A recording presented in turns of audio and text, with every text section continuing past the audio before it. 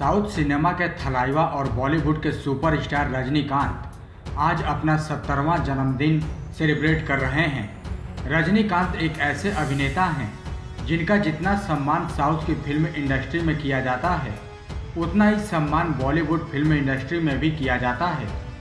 रजनीकांत के एक्शन के बॉलीवुड सेलेब्स भी दीवाने हैं और यही वजह है कि सेलेब्स उनसे बहुत प्यार करते हैं और उनकी इज़्ज़त भी करते हैं। रजनीकांत आज जिस मुकाम पर हैं, यहाँ तक आने और इतनी इज़्ज़त कमाने के लिए उन्होंने बहुत मेहनत की है। गरीबी से लेकर थलाइवा बनने तक का रजनीकांत का सफ़र काफ़ी मुश्किलों से भरा रहा है। उनके जन्मदिन के मौके पर हम आपको बताते हैं उनके ज़िंदगी से जुड़ी कुछ अनसुनी बातों को। बता दें कि रजनीकांत का जन्म 12 दिसंबर 1950 को बेंगलुरु में हुआ था। उनकी माँ का नाम रामाबाई और पिता का नाम रामोजी राव था। रजनीकांत के पिता बेंगलोर के पुलिस कांस्टेबल और माँ हाउसवाइफ थीं। जब रजनीकांत चार साल के थे, तभी उनकी माँ उन्हें छोड़कर चली गई। रजनीकांत अपने चार भाई बहनों में रजनी सबसे छोटे थे, लेकिन परिवार की आर्थिक स्थिति ठीक ना होने के कारण उन्होंने छोटी सी उम्र में ही काम करना शुरू कर दिया। रजनीकांत ने कुली से लेकर कारपेंटर और बस कंडक्टर तक की नौकरी की। लेकिन उनका झुकाव हमेशा से फ़िल्मों की तरफ़ था।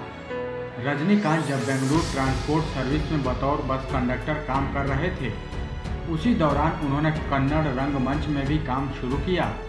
उसके बाद साल 1973 में वो मद्रास फ़िल्म इंस्टीट्यूट से जुड़े। 25 साल की उम्र में रजनीकांत ने फिल्मी दुनिया में कदम रखा, जिस फ़िल्म में उन्होंने सबसे पहले काम किया था। वो थी अपूर्वा रंगागल। जबकि इस फ़िल्म में रजनीकांत लीड रोल में नहीं थे। इस फ़िल्म में उन्होंने कमल हसन के साथ काम किया था।